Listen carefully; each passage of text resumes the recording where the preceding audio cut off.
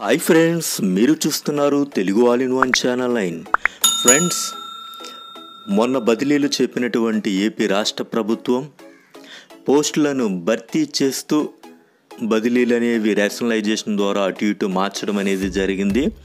అయితే ఉపాధ్యాయ సంఘాలు ఏవైతే లేవనెత్తారో కొన్ని విషయాలలో కొన్ని విషయాలకు ఏపీ ప్రభుత్వం నుండి స్వల నిర్ణయం రావడం జరిగింది. కానీ అస్సలు డిమాండ్ ఏదైతే ఉందో వన్ ఇస్ టు ట్వంటీ రేషియోలో ఉపాధ్యాయించలేమని తేల్చి చెప్పింది.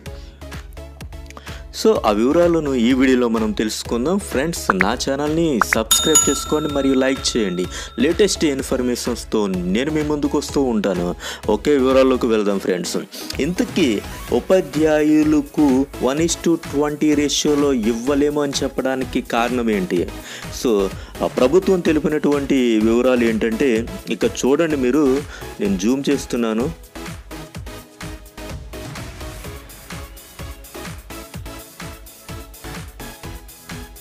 ఇక్కడ మీరు చూస్తే ప్రస్తుతం ముప్పై నాలుగు వేల ప్రైమరీ పాఠశాలలు అనేవి ఉన్నాయి. సో ఎస్జిటీలు వచ్చి డెబ్బై ఆరు వేల మంది ఉన్నారు. సో కాబట్టి మేము వన్ టు ట్వంటీ అనేది ఇవ్వలేమని వాళ్ళు తేల్చి చెప్పడం జరిగింది. కాబట్టి ప్రస్తుతం అరవై మంది విద్యార్థులకు ఇద్దరు టీచర్లనే నియమిస్తామని కమిషనర్ తేల్చి చెప్పారు.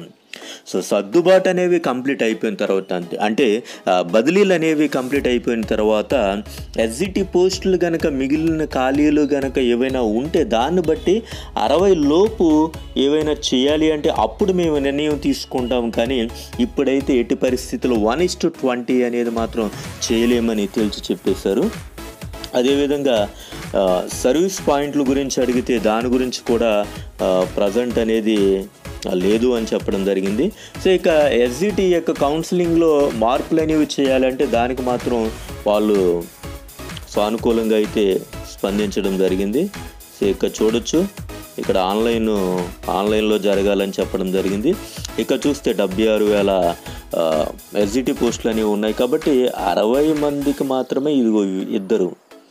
సో ఈ ఇద్దరిని మాత్రమే నియమిస్తామని చెప్పడం అనేది జరిగింది ఫ్రెండ్స్.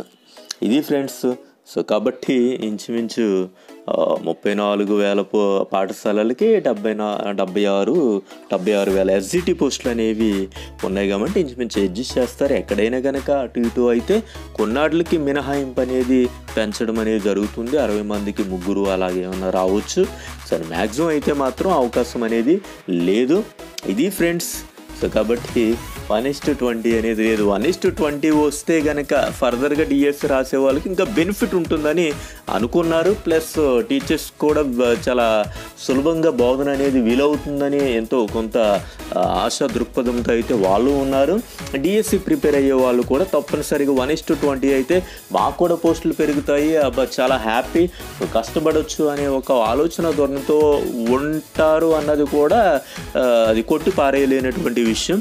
ఇది ఫ్రెండ్స్ ప్రస్తుతానికైతే వన్ ఇస్ టు ట్వంటీ లేదు. సో ఈ వీడియో కనుక మీకు నచ్చినట్లయితే లైక్ చేయండి షేర్ చేయండి కామెంట్స్ ఇవ్వండి. నా ఛానల్ని సబ్స్క్రైబ్ చేసుకోండి. నేను మరిన్ని లేటెస్ట్ వీడియోస్తో మీ ముందుకు వస్తూ ఉంటాను.